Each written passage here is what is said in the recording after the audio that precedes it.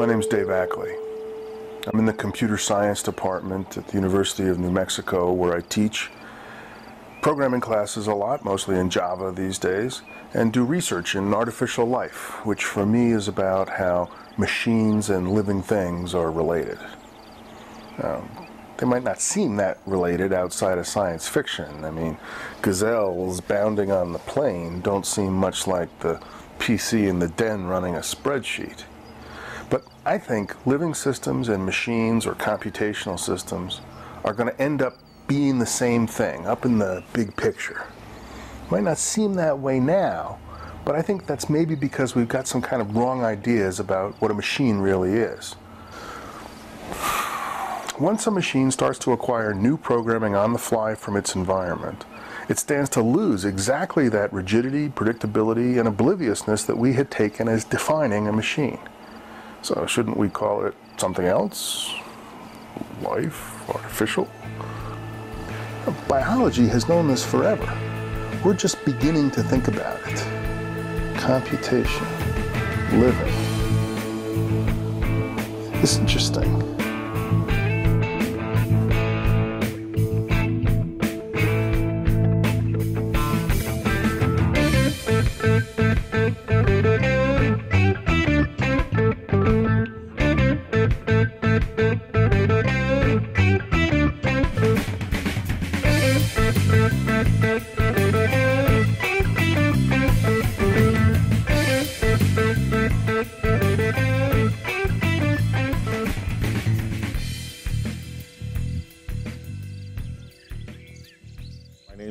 Pollack, and I'm a professor at Brandeis University, which is just outside of Boston. My work has been across different parts of the field in natural language and neural networks and dynamical systems and fractals.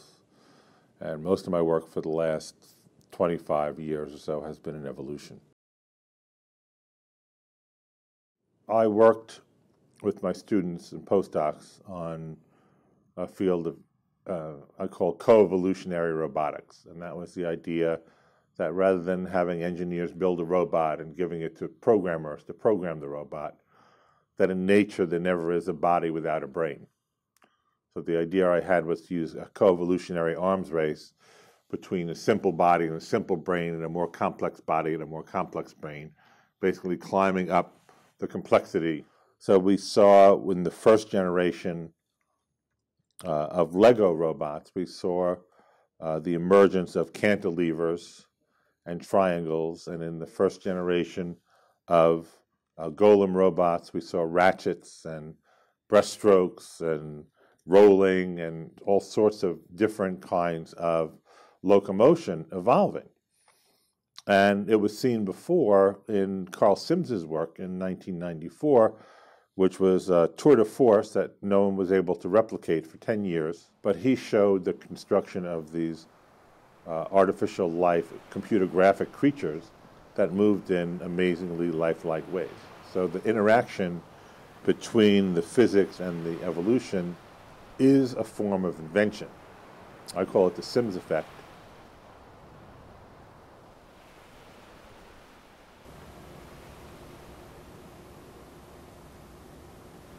What are these creatures? They're virtual creatures.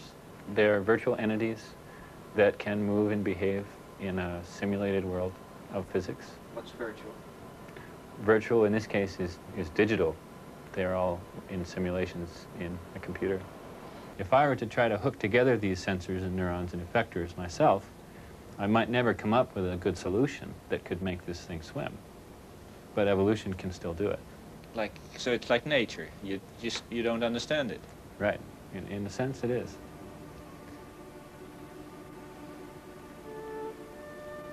This tape shows a number of creatures that resulted in simulated evolutions. It shows the results after a number of generations. Here's some that are evolved for swimming ability.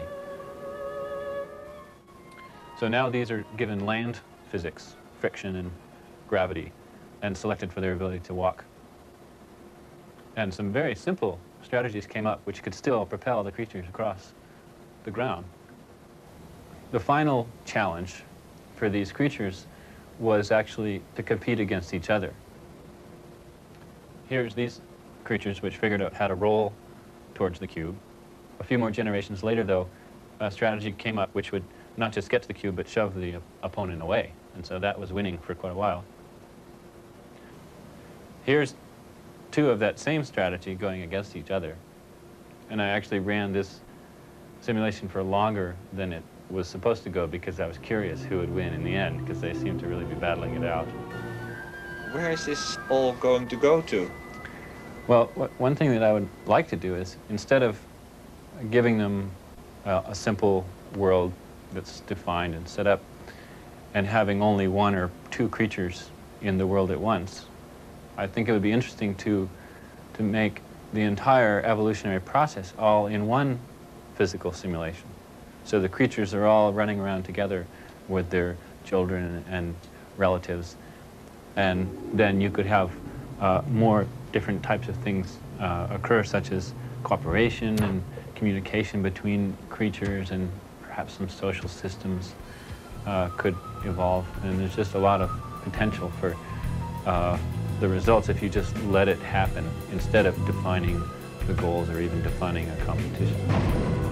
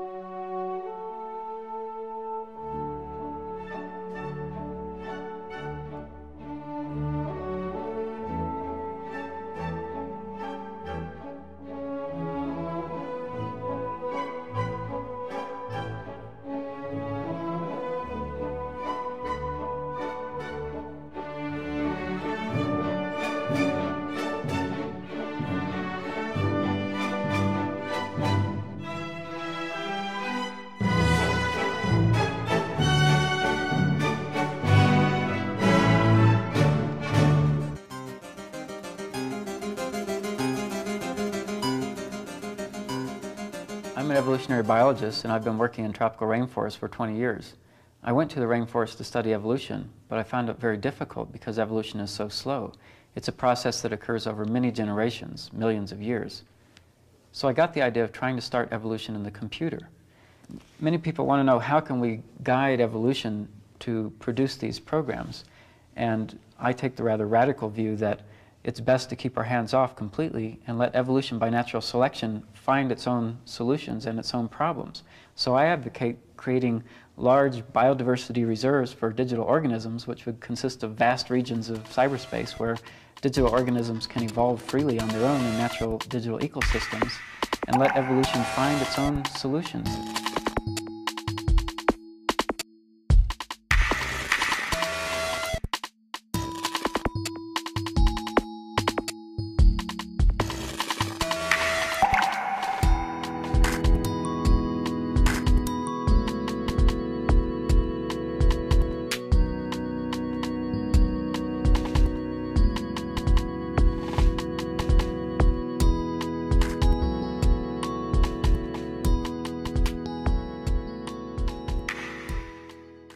I believe that there's this great chasm between art and science, and by placing myself at this, this midpoint in the world of computers, I can translate uh, or feed off complex scientific ideas and then present them as art. Having defined the structure, which is a computer program, I then put it into another computer program which essentially mutates the structure. So each of the mutations is slightly different to the parent structure. I then look at this family of mutations and pick one, kill off the rest, and then breed again from that new offspring. So what happens is that as I evolve and select the forms, a little bit like a gardener trying to grow the perfect rose for a flower show, things gradually change over time. So what I'm doing is using evolution creatively to create unexpected forms. So it's, I'm interacting with evolution.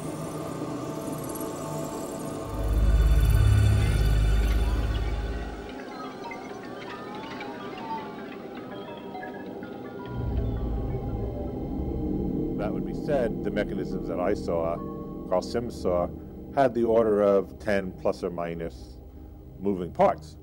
Whereas in real life, the eye or the wings flapping, whatever, has hundreds to thousands of moving parts. So again, it's sort of the, the same question as deep evolution is how can we get something to run without reaching equilibrium early such that complexity develops and develops over time.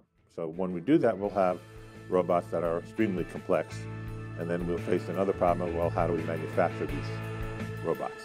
Well, I have an answer for that too, but a longer one.